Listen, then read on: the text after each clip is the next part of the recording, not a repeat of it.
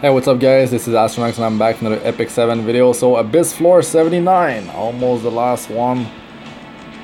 So Tenebria is gonna be the boss and I'm gonna put Angelica in front.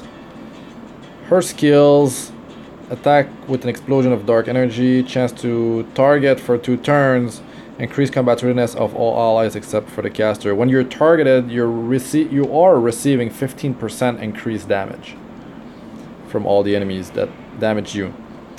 Uh, summons um, Omnious Thunder to attack all enemies, decreasing combat readiness and decreasing speed for two turns. Three turn cooldown. Uh, debuff immunity, of course, is huge. Uh, or you need at least cleansing because the enemy is gonna gain too many turns on you if you don't uh, take this off. But also, if you have debuff immunity, you are immune to uh, combat readiness manipulation. Nightmare dr uh, drops Moon of Nightmare on all enemies with a chance to decrease attack and defense for two turns. Once again, uh, this is a four, uh, four turn cooldown, so if you don't have debuff immunity, you can just time your uh, your cleanse for after it lands.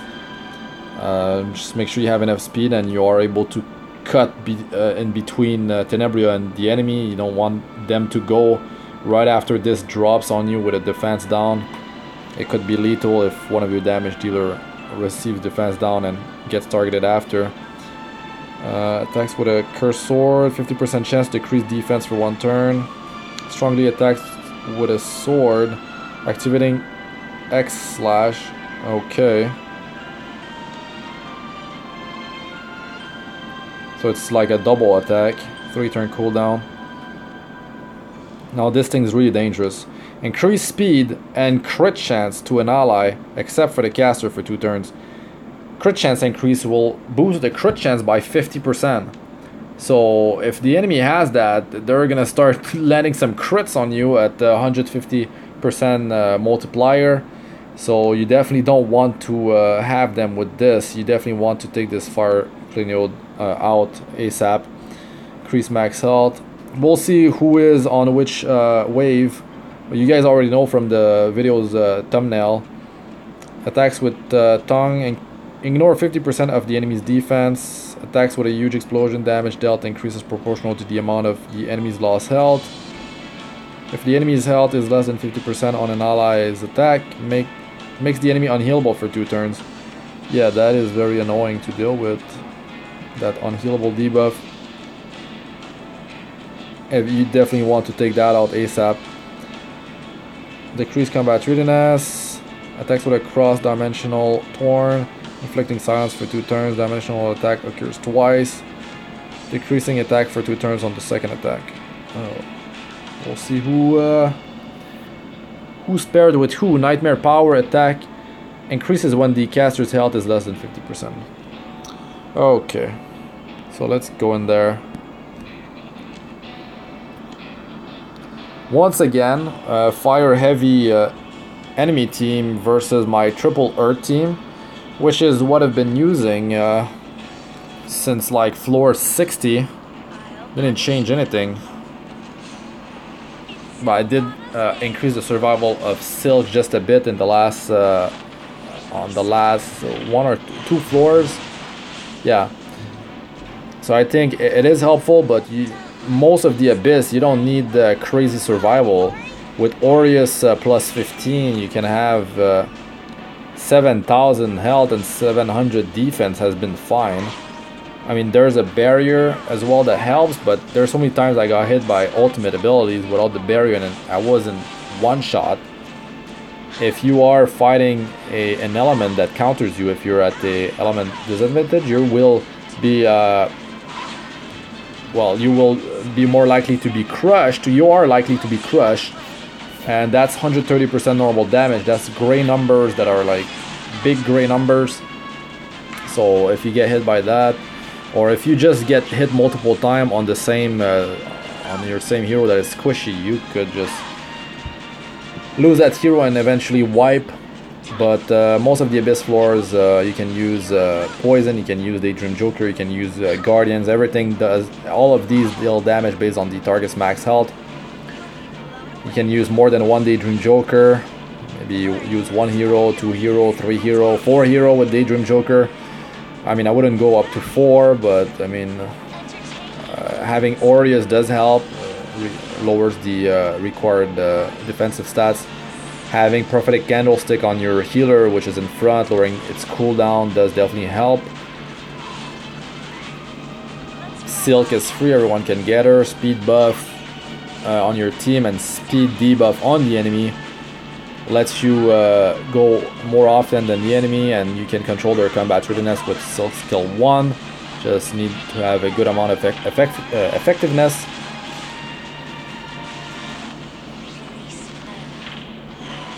But we'll see how this uh, this floor is in terms of damage. Now there's the big ads that are, that are gonna show up. I mean, at least one, one or more that will show up with Tenebria and uh, yeah they, they, they seem quite dangerous we'll see how it goes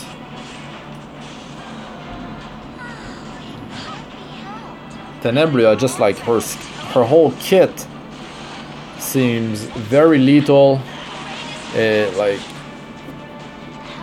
a lot of uh, area attack and if you have a squishy hero on your team, it will be hit, so we'll see what happens.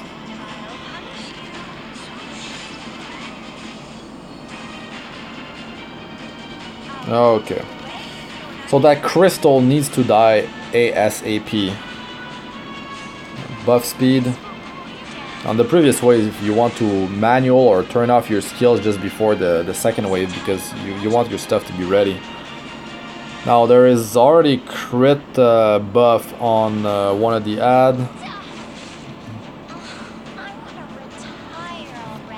If you have Angelica, you definitely want to soul burn her skill 4 on this, uh, her skill 3, her ultimate on this stage now there's some passive that we couldn't see before. Increases max health of all allies except for the caster. So there's that. At least you need to take out the crystal, the crystal at the very least. Acolyte's protection. When the caster is attacked, combat readiness of all allies increases by 15%. Okay, so this makes it easy that I mean you have to take out the ads or you will uh, get those uh, ads to go more often if you're just focusing on Tenebria. There's also speed buff on her. So yeah, you could get targeted. You get 15% increased damage on uh, whoever's targeted on your team.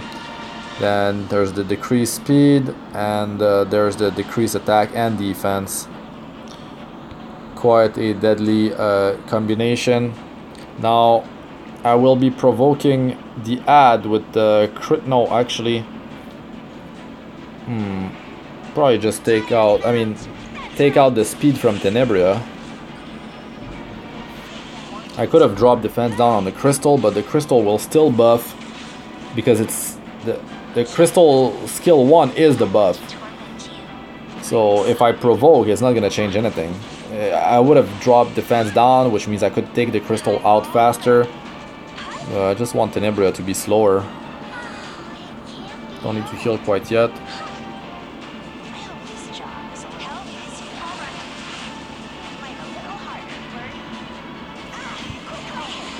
just slowly chipping at the enemy's health. If you're running poison, this this floor can definitely be done with poison. It's just Kiris against uh, fire is not going to be uh, super effective at landing her poisons, but you can, uh, with high effectiveness, there's still that 50% chance that you will miss, uh, meaning you will deal 75% normal damage and you will not be able to land any debuff or crit.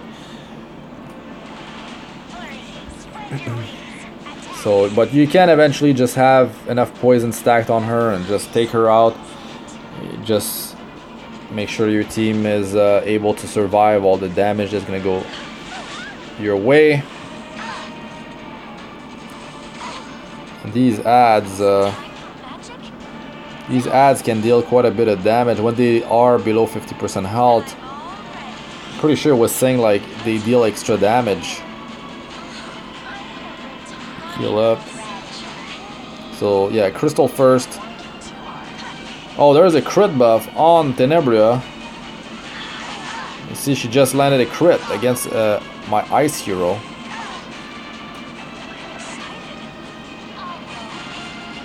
Definitely that crit. There we go, stun. At least stun makes it so it, it cannot use skill 1. If you silence the crystal, the crystal can still uh, use its skill 1, I believe. Because it's a skill 1, that's like the basic skill. So there's only uh, there's only stun or even provoke. Yeah, provoke. I said that it doesn't work because 50% crit buff is very dangerous, especially on Tenebria. Definitely paired with her uh, area damage, her her AOE attacks. Now, if you do have defense down on your one of your hero, this is, gonna, really hurt if it gets targeted.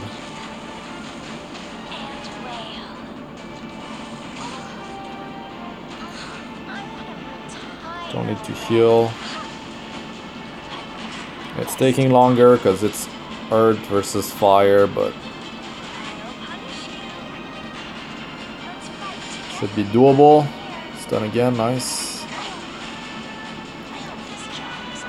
Let's take off this uh, speed buff.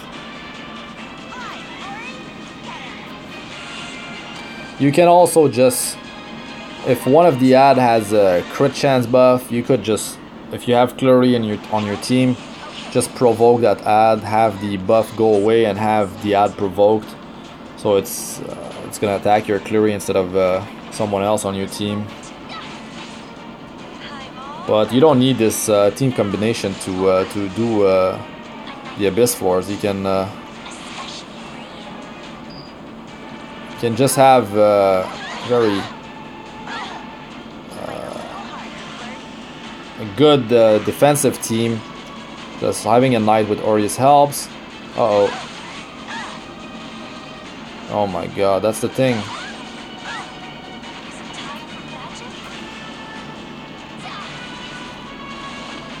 Really low.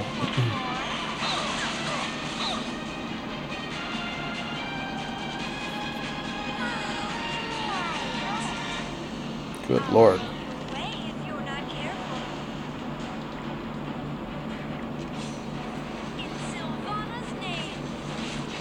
Kill it. Alright. That, okay, definitely provoking an ad is gonna help. Their damage is crazy. They definitely don't like Silk. I should have been provoking an ad. It's It makes things way easier if I did it that way.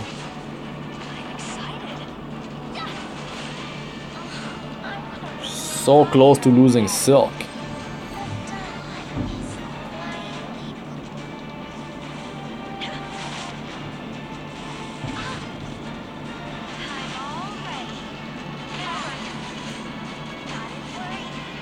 Just gonna provoke the other one. Man, they uh, they don't mess around.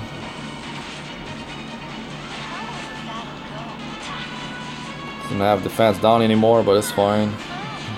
Just get my team healthy.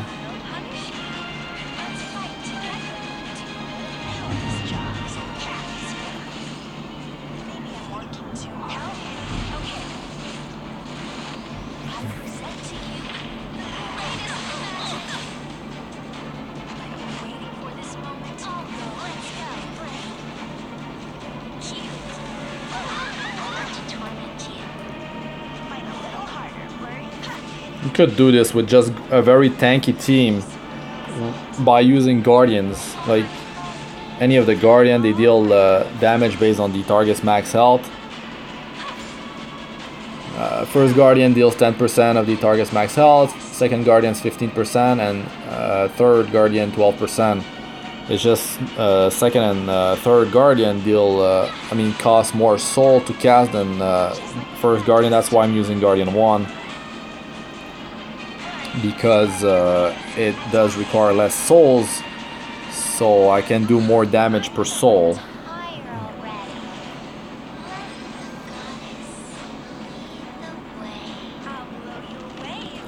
But really if you don't have debuff immunity timing is gonna be massive. It's gonna be huge. Saving your uh, your debuff removal for the at the right time will make a big difference. Because I mean if you use it it's on cooldown and then the boss goes and drops defense down, you are in big trouble if you get targeted again. If you get targeted again, it, it, it could be lethal. Lethal.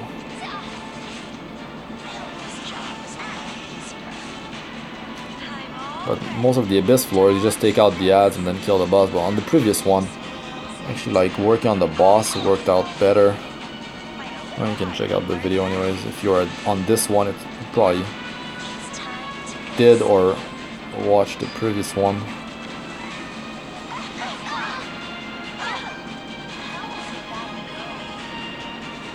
Alright, so it's just an Tenebria. Just need to uh, keep the team healthy and keep that debuff immunity up and uh, should be good.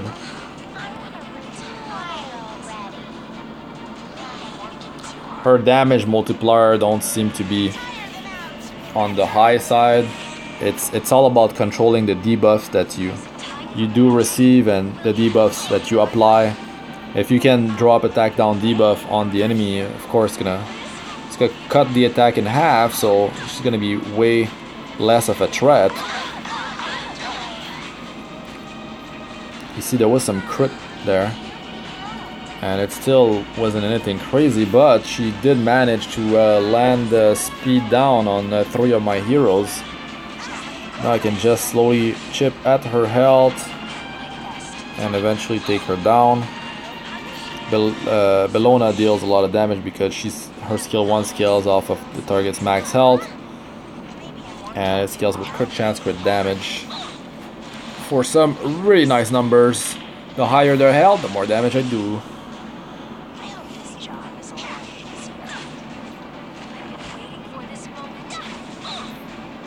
Really, she is not a threat by herself. It's just getting that crystal to buff her crit chance and uh, if she drops defense down debuff and then she goes again or one of the ad just decide to target whoever receives defense down you will be in big trouble. So you just try again and just control uh, the debuff that you receive and that you apply. But attack down debuff makes things so much easier. I don't have it with this team but if you can get it in yours get it.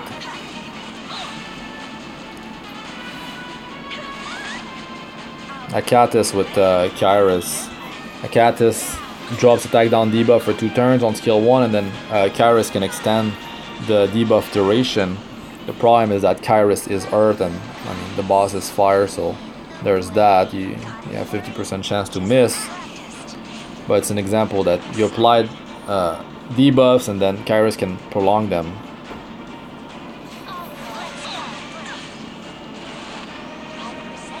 And also, I mean, you're bound to drop some poison debuffs, even if you're doing earth versus fire, and uh, she'll, she'll just eventually die. Or you can just take her out with Daydream Joker. Just have your team tanky enough. Oh, I should use a speed buff. Uh, just have your team tanky enough so you can just survive the big damage, I guess. I mean, you could have this running on auto. It'll just eventually kill her a lot of health, 361,000. But she'll die, she'll die.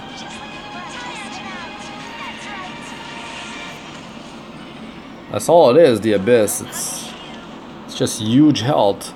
The damage numbers are nothing insane, but you do have to control those debuffs.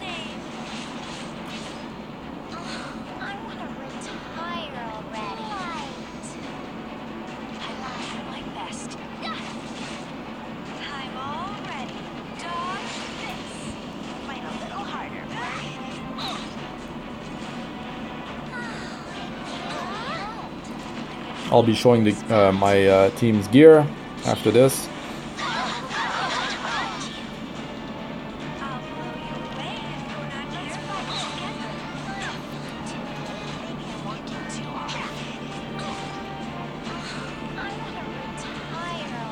Spot the Guardian.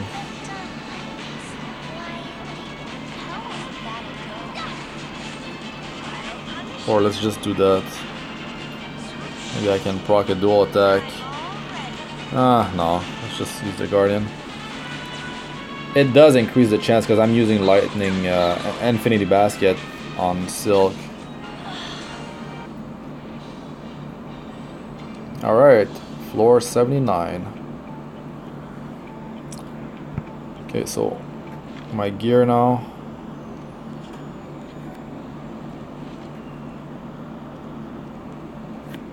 Skill Bellona, Silk, Kluri, Angelica. And here's the gear. Just pause if I go too quick. Thanks for watching guys. I'm Astranox. Like, comment, and subscribe for more. Press the bell icon if you'd like to be notified whenever I release a new video. Do have 125% uh, effectiveness on Silk. 100% is plenty.